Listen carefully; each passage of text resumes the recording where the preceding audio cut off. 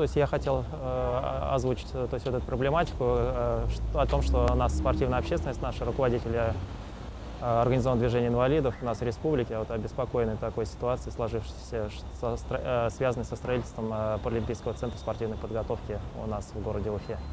Вот, дело в том, что э, э, у нас этот объект был включен э, э, в республиканскую программу инвестиционную э, в 2011 году. И э, аналогичная программа, э, целевая инвестиционная федеральная программа развития физической культуры и спорта до 2016 года.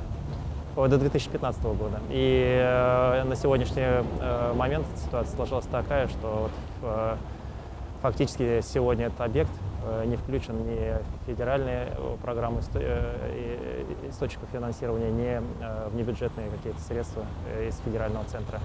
Э, То есть этот объект, он не, не только предназначался для спортивно-тренировочных занятий, не только э, там, представителей из Башкортостана, но и, естественно, этот объект э, должен быть включен в программу э, подготовки сборных команд России, э, э, Минспортом России.